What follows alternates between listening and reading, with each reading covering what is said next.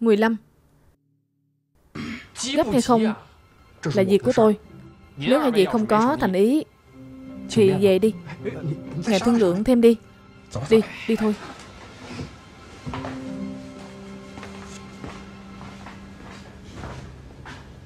Tôi nghe thấy rõ ràng luôn đấy. Nhị gia quyết tâm giành lấy giọng đức lầu. Một vạn rưỡi Giá sàn của dòng nước lầu ít nhất cũng phải hai, ba dạng, Dựa vào cái gì chứ? Đúng thế. Tiền thiếu gia cũng không phải là kẻ ngốc. Anh ta lẽ nào không biết Cái bẫy rõ ràng như vậy sao? Hai ngày nay, Tôi thấy hai thương nhân chiếc giang chạy qua bên tiệm kia hai lần liền. Các anh không nhìn ra Hai thương nhân chiếc giang kia Đang làm gì sao? Làm gì thế? Người của nhị gia đấy. Cậu biết sao? Hôm nay vừa đúng lúc. Tôi đi đưa đồ ăn. Nhìn thấy nhị gia và hai thương nhân chiếc giang kia Cùng đi ra ngoài từ một quán trà. Các anh thấy họ đang làm gì chứ? Chẳng trách. Nhị gia lắm chiêu trò thật. Cái gì ca ca uống trà đi. Để tôi để tôi. Nhị gia ra giá một vạn rưỡi. Tôi đoán chắc anh ta có thể đưa cho người ta một dạng, bởi vì tìm người ép giá xuống thấp hơn, tới khi đó dễ bàn bạc giá cả hơn rồi. Tôi không hiểu được. Giọng nước lầu làm ăn tốt như vậy. Tiền thiếu gia vội giả ra tay. Sao không ai thật lòng muốn mua vậy chứ? Mở quán ăn lớn mà, không có gì trong tay thì ai dám mở chứ? Không chỉ là vấn đề tiền bạc, sảnh trước, sảnh sau. Mời đầu bếp, rồi thuê hầu bàn, cũng cần phải tu sửa lại. Quan trọng nhất là phải có nguồn khách hàng. Nếu bắt đầu không thuận lợi thì sau này muốn phát triển cũng khó lắm. Hơn nữa, làm ăn lớn, không có hậu thuẫn thì không được. Anh xem những quán ăn lớn ở Bắc Kinh, nhà nào có hậu thuẫn đơn giản không? Quan tiểu thư, cô hiểu rõ thật đấy. Giọng nước lầu là tâm huyết nhiều năm của ông chủ tiền. Dù chúng ta ở đối diện nhau, trước đây cũng có vài khúc mắc. Nhưng tôi thấy nhị gia hại người ta như thế, thật sự tôi không thể nào nhịn được.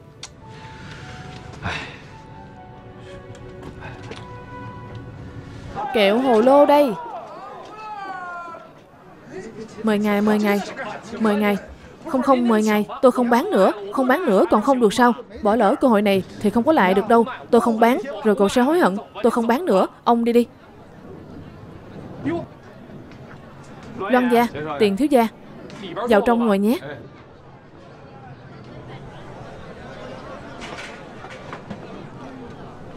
Mời.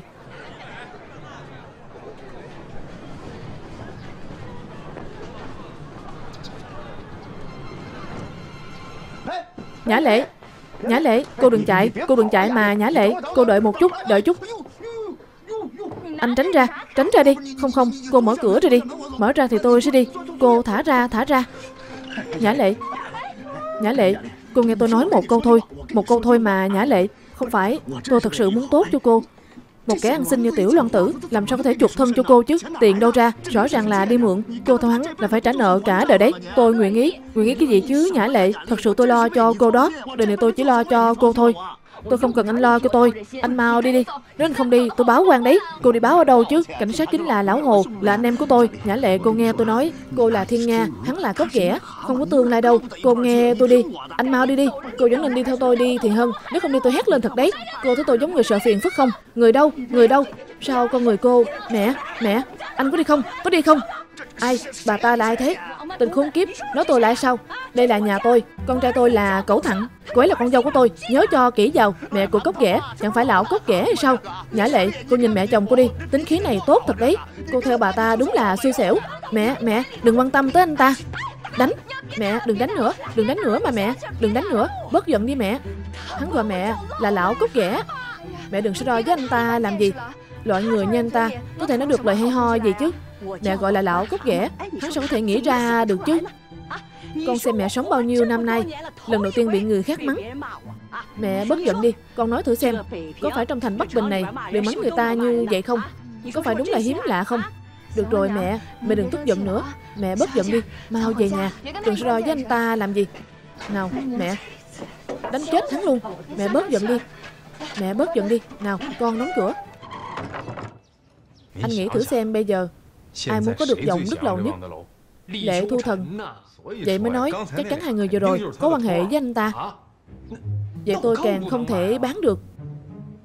Nhưng anh ta không có được Sẽ không từ bỏ.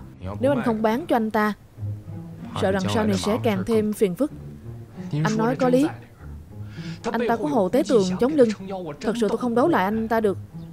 Không giấu gì anh Thưa hội trưởng giới thiệu cho tôi người mua Ngày mai tôi đi gặp mặt. Nếu giá cả công bằng hợp lý Tôi mau chóng bán đi là được rồi. Cứ kéo dài thêm nữa Sớm muộn cũng có ngày bị nhốt vào đại lao. Phải. Muốn bán thì bán sớm. Dù là bị thua lỗ. Dòng nước lầu à dòng nước lầu. Loan gia Anh có không? Tôi không có khả năng này.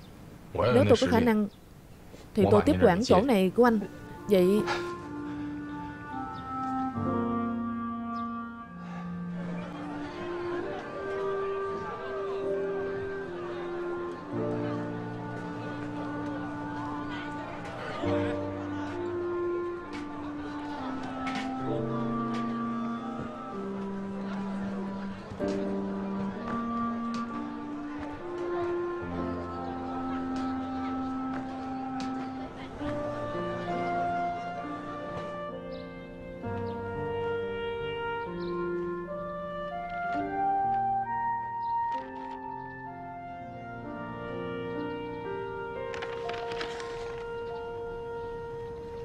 Mới mấy ngày mà cậu đã dội dã tới tìm tôi.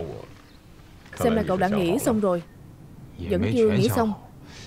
Nhưng cũng có chút ý tưởng. Cậu là một người có lòng. Trên đường có nhiều người gánh hàng rong như vậy Không được mấy người có tâm như cậu. Nếu cậu có ý tưởng Thì chắc chắn không thành vấn đề đâu. Tiên sinh, ông đừng đùa nữa. Tôi chưa từng được học hành Cũng không ai dạy dỗ Gặp chuyện gì cũng dựa vào bản thân tự nghiên cứu Cũng không biết nghiên cứu này đúng hay sai Nghiên cứu được cái gì rồi còn chẳng phải vì chuyện quán ăn sao? Chuyện gì thế? Nói thế nào nhỉ? Nói như vậy đi. Chúng ta nói về sa hoa cư đi. Sa hoa này trời lạnh Thì làm ăn tốt. Trời nóng lên thì không có khách nữa. Đây chính là điểm mạnh và điểm yếu của thực đơn quá đơn điệu. nhưng đầu bếp Phương Vĩnh Thắng của nhà hàng họ không có gì phải chê cả. Món hầm trên cả tuyệt vời, đặc biệt là món thịt lừa hầm, còn phúc khẩu cư nữa. Món ăn của họ đủ tinh tế nhưng định vị không tốt lắm. Nó không có lượng khách hàng cũ, giống như quán ăn lớn tế phong lầu. Nhà họ khách kiểu gì cũng có. Dưới con mắt của dân chúng nghèo khổ, thức ăn có tinh tế đến đâu cũng chỉ là vẻ bề ngoài, quan trọng là giá khá đắt. Giả sử cho cậu kinh doanh một quán ăn, cậu sẽ làm như thế nào? Chắc chắn tôi sẽ nghiên cứu về con người trước. Tôi phải nghiên cứu xem chúng ta nhắm tới khách hàng nào, trang trí như nào rồi mới tới món ăn. Món ăn làm như thế nào? Món ăn đó phải nấu ra sao? Đúng không tiên sinh? Chiều mai nếu cậu không bận Thì tới Phong Trạch Viên ở Trung Nam Hải một chuyến. Đi làm gì? Ông lại muốn đổi chỗ sao? Ông xem ông ấy ở một mình cũng vui lắm. Người tới rồi Tới rồi sao? Ý gì vậy chứ? Không phải tôi nói này lão Diêu Sao chúng ta lại sửa Phong Trạch Viên này nữa thế? Ông cứ gì vậy chứ Lão Diêu người ta ăn cơm uống trà, chơi cờ từ sáng tới tối. Có việc quan trọng là tới phong trạch viên. Đúng thế, Lão Diêu, hôm nay có chuyện gì thế? Nhân vật chính còn chưa tới, nào chơi cờ đi. Ông không nói, thì tôi không chơi với ông. Nóng nảy thế chứ. Diêu tiên sinh, tôi chơi với ông. Đúng thật là tôi chơi cờ với Diêu tiên sinh. Diêu tiên sinh lo cơm nước Được được, lo Tôi phải làm trọng tài cho gián này. Pháo này, mã nhảy đi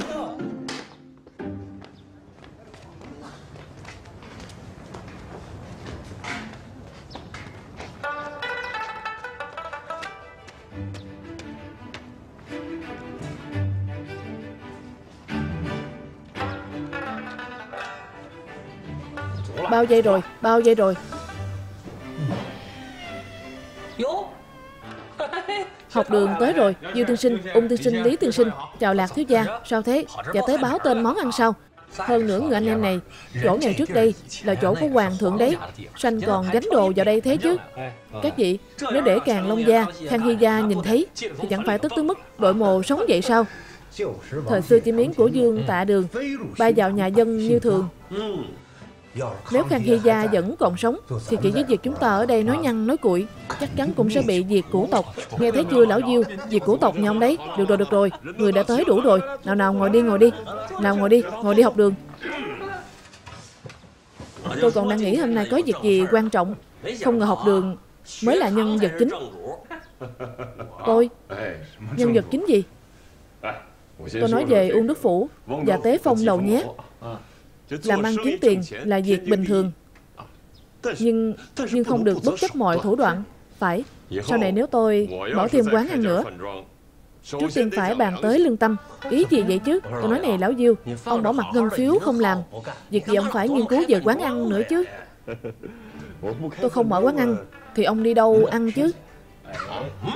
Cũng phải cũng phải. Tiên sinh Ông lại muốn mở quán ăn sao? Vậy tôi nhất định ủng hộ hết mình. Tôi giúp ông. Hôm nay gọi cậu tới Vì chuyện này có liên quan tới cậu. Ngoài ra mời các chị tới. Cũng vì muốn kéo các chị xuống nước. Ông có gì vậy chứ? Quán ăn mới này, tôi góp hai dạng. Còn lại không biết các vị Có hứng thú góp cổ phần không? Lão Diêu, Ông cũng biết quy tắc nhà chúng tôi. Tổ tiên chúng tôi có quy tắc. Ngoài kinh doanh về thuốc ra, Thì động nhân đường chúng tôi Không được động vào việc buôn bán khác. Không phải cậu Được được Trừ cậu ra Đúng đúng. Lý đại tài tử Đừng nhìn quân cờ nữa. Ông thế nào? Một người thầy nghèo như tôi Hơn nữa. Đúng rồi Nếu các ông muốn mời khách ăn cơm Thì đừng quên gọi tôi. Được Vậy tôi là đại cổ đông. Nhưng tôi bỏ tiền ra Sẽ không lo công việc.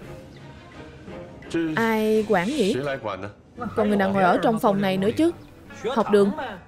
Tôi. Tôi lo sao? Học đường. Mọi người đều biết nhân phẩm của cậu. Phải. Phúc hậu. Nhân nghĩa. Đương nhiên bản thân cậu cũng có mong muốn này. Quan trọng nhất là cậu có khả năng làm việc này. Việc này cứ quyết định như vậy đi. Học đường. Cuộc sống tốt đẹp của cậu tới rồi.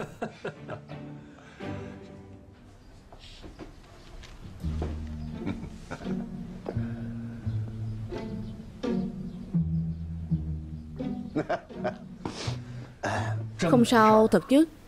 Không không sao. Không phải. Vậy anh tới đây làm gì? Anh xem Họ hàng xa không bằng láng giềng gần. Nói chuyện Nói chuyện chút thôi. Tôi nói này lệ nhị gia. Đừng đừng. Nhất định không được gọi tôi là nhị gia Gọi là lệ ca Gọi lệ ca cho thân thiết. Thân. Chúng ta mở cửa sổ để nói chuyện cho sáng nhé. Anh rút cuộc hôm nay tới đây để làm cái gì anh không có việc gì, Nhưng tôi có việc đấy. Còn không nói phải không? Không nói thì tôi đi nhé. Đừng đừng. Đông Thăng, Cậu xem đi tính khí kiểu gì thế? Cũng không thể nói là không có việc gì. Tôi nói vài lời với cậu nhé. Tôi nghe nói dòng nước lầu Phải bán đi lấy tiền sao? Tôi thấy có không ít người tới đây. Không có người nào tử tế. Không phải gian thương thì là kẻ lừa đảo lấy tiền đến người anh em. Tôi lo lắng thai cho cậu. Cảm ơn, cảm ơn anh Người anh em. Nhưng cậu vẫn phải bán đúng không? Tôi nghe nói anh rể tôi muốn mua. Người anh em. Cậu cũng biết tính anh rể tôi rồi đấy. Không phải người keo kiệt bình thường. Vậy tôi không bán cho ông ấy. Chẳng phải đơn giản rồi sao? Không không, không người anh em. Nhưng cậu bán cho người ngoài thì nguy hiểm lắm đấy. Họ là kiểu người gì chứ? Tôi nghĩ thế này. Dứt khoát đừng nói gì cả. Tôi mua. Anh không phải đang làm ở Tế Phong lầu sao? Sao lại muốn tự mình mở quán ăn thế? Chẳng phải con cái lớn rồi sao? Cậu cũng biết con người tôi Chơi bời lêu lỏng Một mình lẻ loi Đúng không? Nếu chẳng phải con cái lớn rồi Thì tôi thật sự không có suy nghĩ tự mình làm ăn. Tôi nói này nhị gia anh có suy nghĩ này một thời gian rồi, Có phải vậy không? Ít nhất là hai ngày. Trước đây thật sự không có. Nếu không phải anh để tôi đề nghị, Thì tôi không có suy nghĩ này đâu. Dù sao bán cho ai mà chả bán. Hay là anh đưa ra một cái giá đi. Người anh em, Sảng khoái lắm. Vẫn phải kể tới thanh niên. Đơn giản. Người anh em cậu đơn giản, Thì tôi cũng không phức tạp làm gì. Chúng ta bàn việc. Tôi nghe nói Bây giờ có người đang ra giá.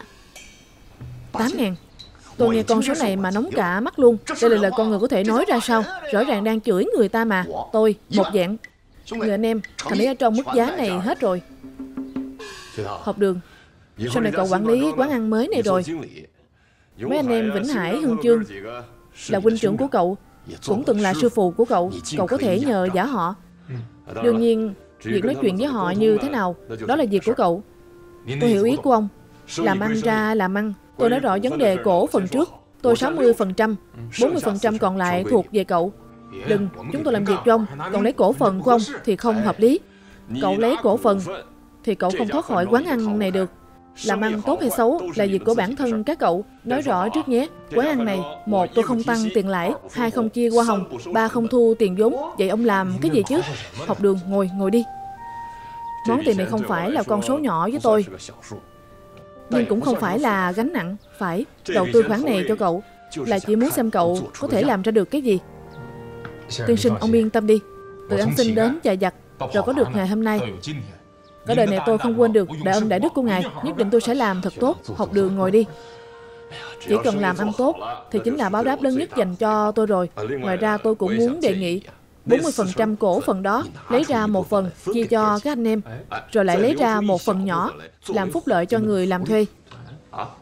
Mọi việc nghe theo tiên sinh sắp xếp. Không phải tôi nói này nhị gia. Người khác không biết mà ngài còn không biết. Dòng nước lầu đáng giá bao nhiêu tiền sao? Chuyện này nói một cách khác. Hôm nay nếu bán tế phong lầu đi thì đáng giá bao nhiêu? Một dạng sau không chỉ có vậy đâu. Không không người anh em không thể nói như vậy được Bây giờ dòng nước lầu không có đầu bếp, không có người làm thuê. Tôi còn phải bàn ghế, còn phải sửa lại cửa lớn sảnh trước. Hơn nữa, quan trọng là nó từng xảy ra chuyện. Bây giờ người bên ngoài mê tính lắm. Chúng ta xảy ra chuyện như vậy, cậu thấy tôi chẳng phải cần mời hòa thượng tới làm phép gì gì đó hay sao? Anh nói có lý, đúng thế, có lý, không phải, nhưng một đồng đại dương cũng có chút, cậu thấy cao quá chứ gì? Không sao người anh em, phần thành ý này tôi nhận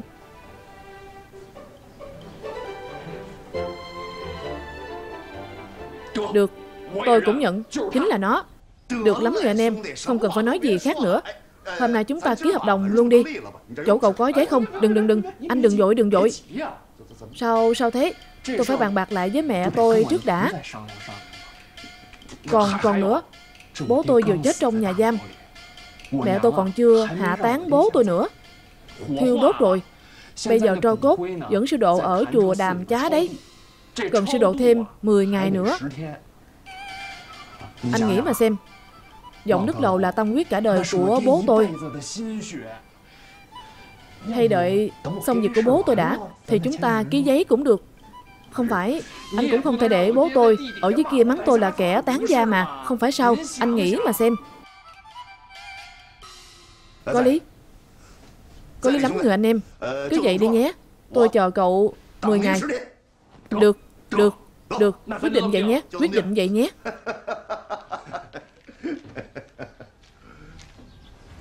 Quán ăn mới của chúng ta tên là gì nhỉ?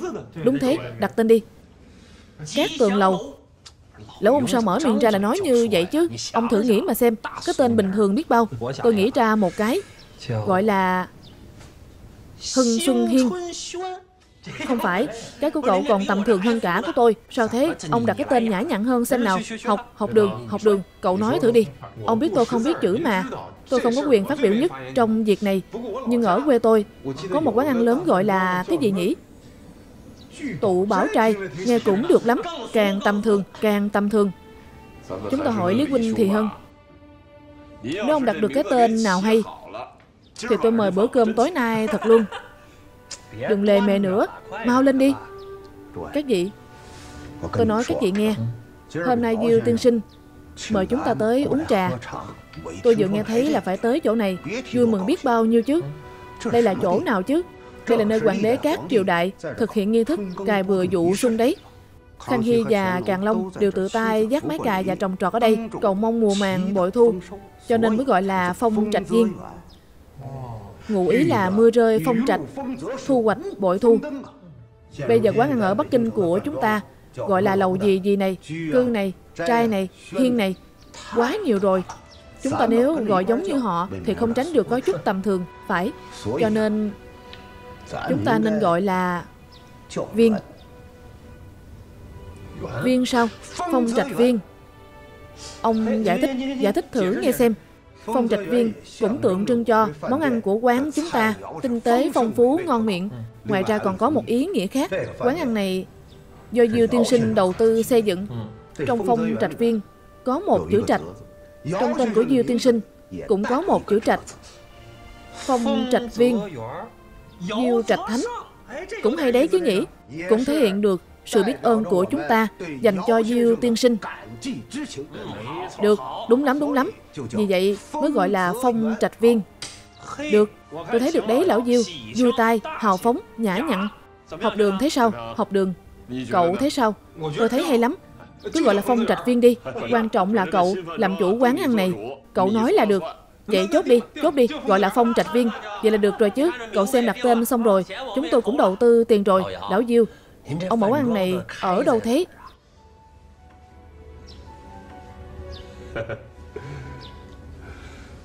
Giọng nức lầu.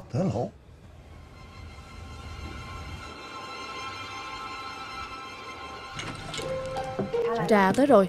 Chị dâu đưa cho tôi. Tôi nói này Lão ngủ. Cậu gọi mấy anh em tới đây Nói là có chuyện cần bàn bạc. Chuyện gì thế? Hôm nay tôi tới phong trạch viên Ở Trung Nam Hải một chuyến. Có phải Diêu tiên sinh nói gì với anh không Chuyện của nhị gia Làm tiên sinh tức giận có phải vậy không? Tức giận thì cũng không thể giận lão ngủ được chứ. Cậu ấy chọc vào ai đâu? Mẹ Hả? Mẹ cũng qua đây ngồi đi. Qua đây ngồi đi Ngồi đi nào nào mau lên. Bác ngồi chỗ này đi. Ta ngồi đây là được rồi. Tôi dọn qua cái giường Dọn qua cái giường Ngồi đi. Nào nào Bác uống chén đi. Nóng đấy Nóng đấy Cháo vừa rót. Bác uống đi Uống đi bác Tiên sinh đưa tôi tới phong trạch viên. Ở đó có ung tiên sinh. Thiếu gia nhà họ lạc. Lý tiên sinh. Ý của Diêu tiên sinh Là muốn mở một quán ăn. Mở thêm một quán ăn sao? Có phải để con làm hầu bàn hay không thế? Vậy phải tới đó một chuyến tử tế. Đây là chuyện tốt Tôi có thể tới đó được không? Nói thẳng với cậu nhé. Tôi không muốn làm mở tế phong lầu lâu rồi. Tính cả tôi vào. Tôi cũng đi. Em nói này, Dứt khoát như vậy đi. Anh nhận em làm đồ để đi. Sau này em sẽ đi theo anh. Học đường. Sợ đại chuyện này không đơn giản như vậy? Có phải vậy không? Ý của tiên sinh là Là muốn tôi làm Ông chủ của quán này. Con trai con làm gì có bản lĩnh lớn như vậy chứ. Con mau chống từ chối đi. Đừng làm lỡ việc của người ta. Ngày mai mẹ sẽ tới tìm tiên sinh. Tiên sinh nói rồi. Không những hy vọng con qua đó Mà tiên sinh muốn để năm anh em tụi con Đều qua đó hết. Tiên sinh nói Để tôi làm ông chủ Cũng quản lý toàn bộ Từ đại ca, võ đại ca. Hai người làm phó quản lý. Nhị ca Bếp phía sau vẫn phải nhờ vào anh. Không, không phải. Vậy em thì sao? Không thiếu cầu được. Vậy thì được, vậy thì được. Ý của mấy anh thế nào? Tôi thấy đây là chuyện tốt. Tôi nói một câu tận đáy lòng mình. Nếu ông chủ đối xử chúng ta tử tế Thì ai nhảy việc chứ? Đúng thế. Lần này võ hương chương Cá chép quá rồng rồi. Quá rồng hết luôn. Vậy tôi giữ chức vụ gì thế? Cậu đừng làm khó lão ngủ. Chúng ta phải nghe theo tiên sinh sắp xếp. Vậy tôi cũng phải làm chút gì đó chứ. Được được. Cậu cứ chờ đã. Nhị ca Trong mấy anh em chúng ta Thái độ của anh là quan trọng nhất. Tôi Lão ngủ à Nhị ca cũng có lòng qua đó. Nhưng không được đâu. Tôi và ông chủ Uông là đồng hương. Cậu xem sao người Sơn Đông Có thể làm ra chuyện này chứ? Tôi khác với cậu. Tăng sư phụ vẫn đang ở đó chèn ép anh. Anh làm ở đó thì được lợi lộc gì chứ Đúng thế. Dù hắn có lỗi với tôi, Nhưng tôi cũng không thể có lỗi với hắn được. Được được. Chuyện này hôm khác chúng ta lại nói tiếp. Sau này rồi nói tiếp. Bây giờ có một việc rất là quan trọng. Chúng ta phải giữ bí mật. Địa chỉ của quán mới này Chính là giọng đức lầu. Giọng Đây chẳng phải là đối mặt nhau sao? Sau này mỗi ngày chúng ta Đều phải đối mặt với tế phong lầu, Lệ nhị gia, Ông chủ Uông Chẳng phải họ sẽ tính kế chúng ta suốt ngày sau. Sợ gì chứ? Tôi thấy Diêu tiên sinh cố ý như vậy đấy. Dòng đức lầu quả thật là nơi tốt để mở quán ăn. Tiên sinh chọn chỗ này rất đúng. Ông ấy không quan tâm tới thể diện của tế phong lầu. Chỉ muốn để học đường và các anh. Làm cho ung đức phủ xem. Xem thử các anh có làm được không? Học đường. Trọng trách nặng nề đấy. Bà dành cũng nghĩ về chuyện này suốt cả ngày. Không phải Nhưng 10 ngày nữa Nhị gia sẽ ký hợp đồng rồi. Kế quản binh. Diêu tiên sinh đang dùng kế quản binh. Chắc chắn luôn. Diêu tiên sinh nói Cho chúng ta 10 ngày Tìm người sửa chữa Và đưa ra phương án thiết kế 10 ngày nữa khởi công. Đại ca Anh yên tâm đi. Ngày mai chúng tôi sẽ xin nghỉ việc. Nhiệt tình giúp đỡ lão ngũ làm việc. Không được không được. Còn em nữa Đợi chút Nếu chúng ta đi hết cùng một lúc Sẽ bị lộ sơ hở ngay. Đợi chút đợi chút. Tôi thấy Tôi thấy sắp xếp chuyện này như thế nào? Vẫn phải nghe theo lời của tiên sinh. Học đường. Em không hiểu việc sửa chữa. Nhưng trước đây A Mã em rất chú trọng việc thu xếp nhà cửa Nên từng mời một vài người thợ làm việc trong cung. Bây giờ thu xếp một quán ăn Chắc là không tệ đâu. Được. Con trai Con làm thật sao? Đúng thế Như tiên sinh đích thân mở miệng rồi. Nếu con không làm chẳng phải phụ lòng người ta sao? Đương nhiên phải làm rồi bác gái. Bác yên tâm đi. Đây là việc tốt mà. Phải phải, việc tốt, việc tốt. Như vậy đi. Các anh cứ ổn định bên chỗ nhị gia Và ông chủ trước. Chuyện còn lại cứ để cho tôi lo.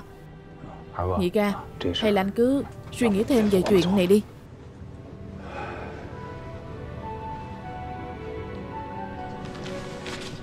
Công trình lớn như vậy Phải hoàn thành trong 2 tháng. Thời gian hơi gấp. Em xem tìm được người rồi. Thì còn một vấn đề. Em nghĩ xem Một quán ăn lớn như vậy Giữa ban ngày ban mặt Giữ mật kiểu gì đây?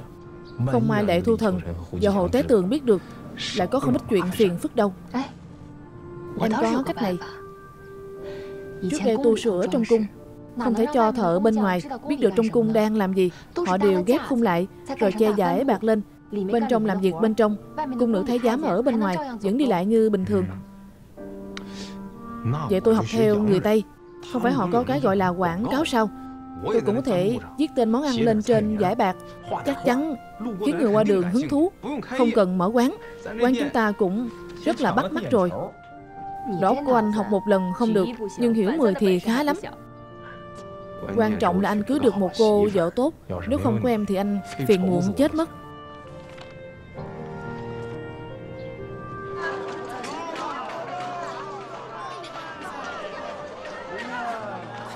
Bán báo, bán báo đây. Nghe cho kỹ. Chuẩn bị trước một bàn tiệc rượu cho tôi. Làm đẹp một chút. Tôi phải ký hợp đồng Để họ thấy được thể diện của tôi. Hiểu chưa? Tôi hiểu, tôi hiểu. Mau lên Sư phụ, anh xem dáng vẻ vui mừng của nhị gia kìa. Nói nhảm ít thôi Làm việc đi. Suốt cuộc nhị gia Ký hợp đồng gì thế? Không nghe sư phụ nói Bớt lo chuyện bao đồng đi sao? Nhị gia sắp mua giọng nước lầu rồi. Mua giọng nước lầu? Vậy chẳng phải tế phong lầu chúng ta Chỉ là số một ở kinh thành này sao? Có số một hay không Thì không liên quan gì tới tôi cũng không tăng thêm tiền lương cho ông. Vậy liên quan gì tới cậu chứ? Làm cái gì thế? Đi đi làm việc đi. Mau lên, mau. Chào buổi sáng, Trần sư phụ. Chào buổi sáng, Tăng sư phụ.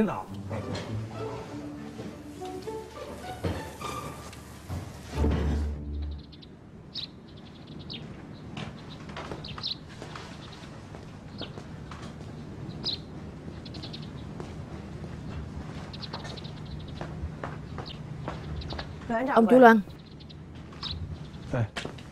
Đại tiểu thư. Sao thế? Đến nhà tôi mà không chào hỏi tôi vậy sao? Vẫn chưa có thời gian. Tôi dự định đi qua đó. Bỏ đi. Dù sao tôi cũng không muốn gặp anh. Cút đi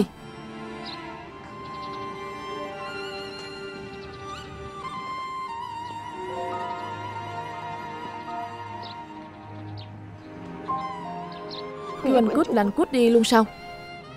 Đồ ngốc.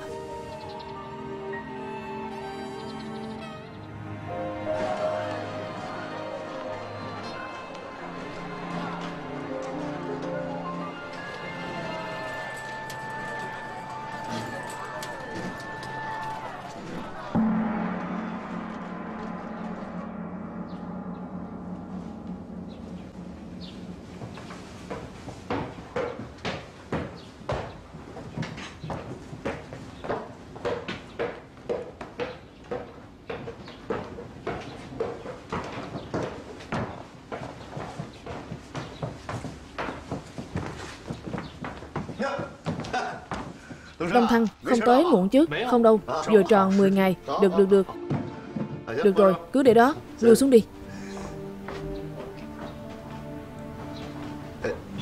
Đông Thăng à, hôm nay tôi đến chùa đàm chá rồi.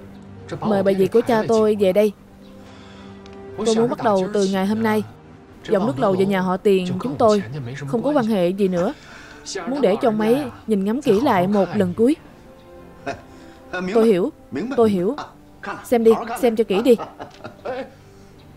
Không phải xem quán, mà là xem anh.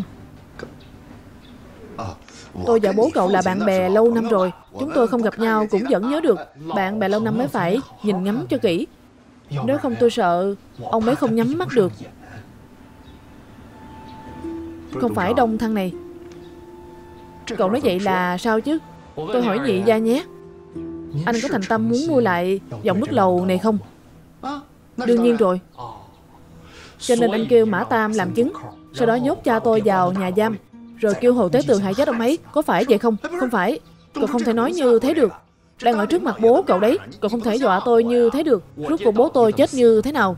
Chân tướng vụ án cá nóc là như thế nào? Chúng ta đều biết rõ trong lòng. Còn cả loan học đường kia nữa. Tôi từng nhờ anh ta giúp đi việc của Mã Tam. Kết quả bây giờ người ta Trước tiên bị nhốt vào nhà giam Bây giờ được thả ra rồi Nhưng chỉ có thể gánh hàng rong Bán bánh mì ở ngoài đường Tôi nói này nhị gia Có phải anh thấy tiền đông thăng này vô dụng Chỉ có thể ngoan ngoãn Ký hợp đồng với anh thôi có đúng vậy không Không không đông thăng này Cậu không thể nói như thế được Phải phải Không có bằng chứng Nếu mà có bằng chứng Thì anh đã bị nhốt vào đại lao lâu rồi Đúng là tôi vô dụng Tôi không thể trả thù thay bố tôi Nhưng tôi có thể làm một việc. Đó là không thể để việc buôn bán này Rơi vào tay của kẻ thù.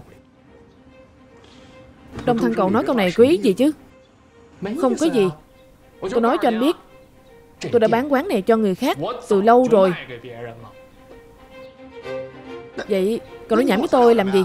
Cậu trêu đùa tôi sao? Tôi nói cho anh biết Có trêu đùa hay không Dù sao không những bán quán rồi Mà tôi còn bán trước anh 10 ngày đấy Một dạng 8 đồng đại dương. Tiền Đông Thăng. Cậu không được nói lời không giữ lời. Có giữ lời hay không Dù sao sớm muộn Anh cũng phải biết.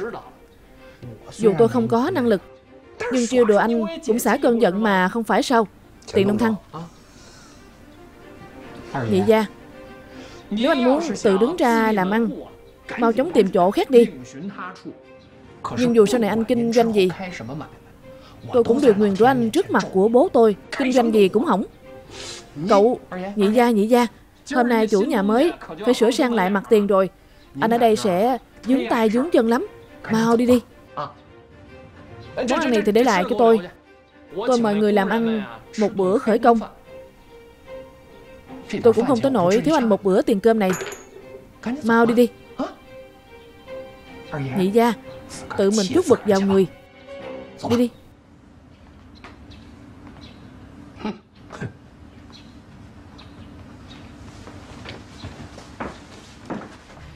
Cái gì? Bán đi rồi. Bán cho ai? Anh xem tự mình chút bực vào người kìa. Anh xem em đi. Em chẳng tức giận gì cả. Tôi hỏi cậu bán cho ai rồi? Sao mà em biết được chứ? Đối phương trả bao nhiêu tiền? Một dạng tám. Một Một dạng tám. Thần tài ở đâu ra? Mà có nhiều tiền như vậy chứ? Chuyện này làm em phát sầu. Đến mức tóc bạc trắng luôn rồi đây không được, em phải tới tìm Hồ Thế Tường. Sau này mà thành anh ta cũng có cổ phần mà. Anh ta phải lo chuyện này. Cậu đứng lại. Cậu dùng đầu của cậu nghĩ mà xem. Chúng ta có thể dây vào người trả giá Một dạng tám hay sao chứ? Quản hắn là ai chứ? Cậu quay lại đây mau.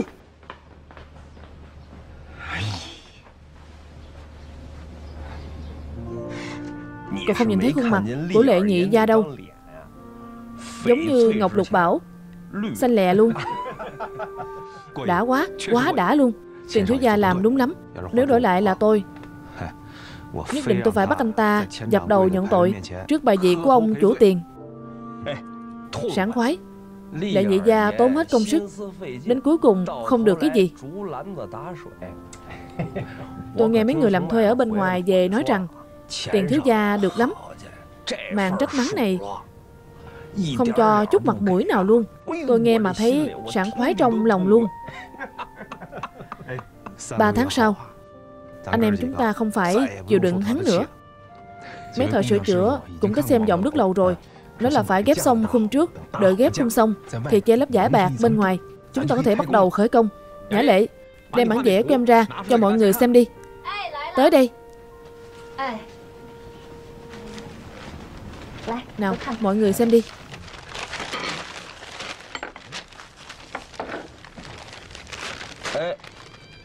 Đại ca, học đường. Căn phòng này là như thế nào vậy? Trông có vẻ phức tạp hơn các chỗ khác. Căn phòng này tôi muốn dùng làm phòng chế biến Món điểm tâm cung đình Điểm tâm cung đình. Ai biết làm chứ? Đúng thế. Cái này thì phải giữ bí mật trước. Đại các cách vẫn còn ấp mở nữa chứ. Tôi nói này Rốt cuộc Trần Nhị Ca có tới hay không thế nếu anh ấy không tới thì mấy cái này Chỉ là vỏ bên ngoài mà thôi. Anh ấy có khúc mắc trong lòng. Thực ra anh ấy muốn tới nhất đấy. Học đường. Về chuyện này cậu phải nói chuyện với anh ấy. Nếu không được thì chúng ta phải mau chóng rút lui. Chúng ta không thể vì anh ấy Mà làm lỡ việc lớn của Diêu tiên sinh. Rút lui gì chứ?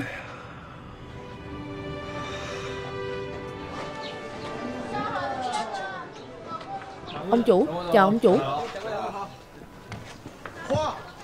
Đã quay lại rồi. Tôi xem thử.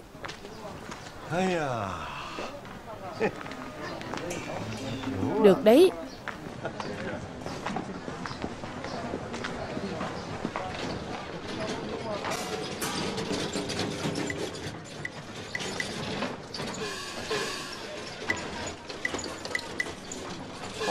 Vây cũng kín thật đấy. Ra cái vẻ thần bí.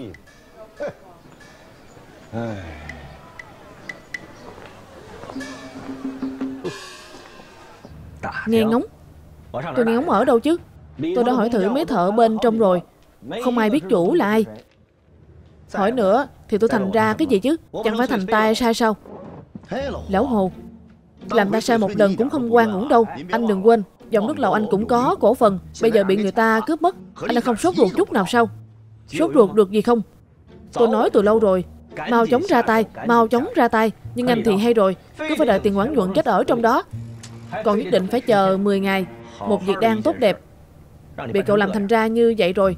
Sao cũng thể nói tôi như thế được chứ? Tôi làm sao? Anh muốn tôi phải làm sao? Tự tôi đó bán cho ai cũng không bán cho tôi mà. Tôi có thể làm sao? Tôi dí súng vào đầu của người ta sao? Tôi cũng phải có súng chứ. Vậy từ đầu anh đã làm gì?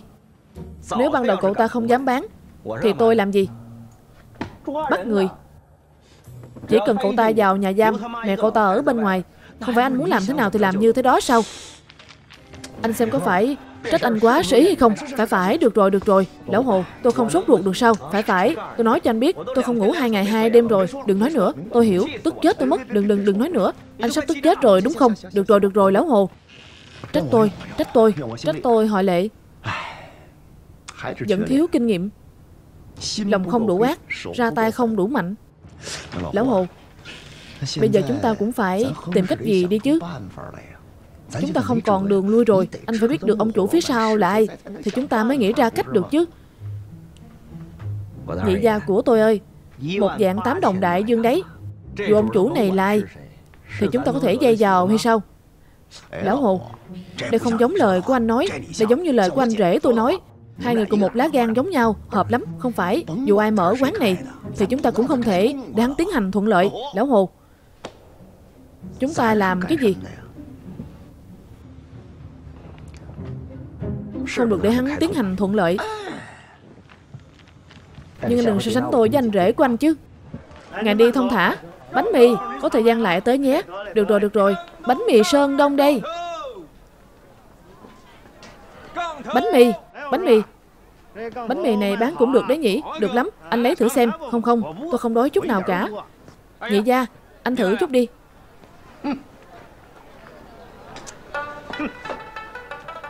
Bánh mì. Mọi người tích cực lên chút nhé. Bánh mì Sơn Đông đây. Bánh mì nhị trưởng quầy, Cô Tế Phong Lầu thích ăn nhất đây.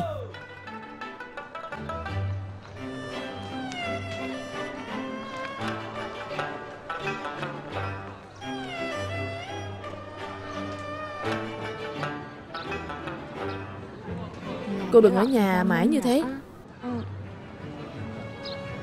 Tôi nói này học đường. Cậu được đấy. Tôi ra ngoài làm gì cái cậu? Sao cậu lại như ăn trộm thế chứ? Ông vất vả rồi. Chờ tiểu thư rời đi. Thì chúng ta vào trong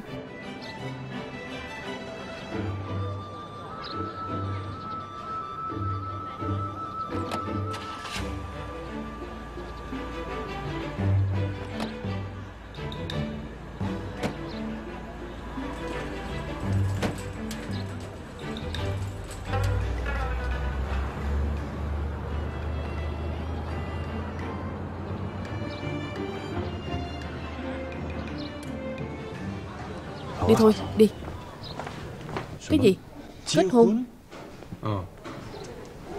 Một khi khai trương rồi Chắc chắn sẽ có rất nhiều việc. Tôi không thể làm lỡ việc làm ăn của ông. Tôi muốn xử lý việc này. Xong xuôi ổn thỏa trước khi khai trương.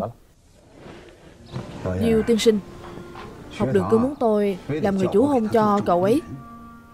Được lắm. Ông làm chủ hôn thì hợp lý quá còn gì? Nghĩ một đằng nói một nẻo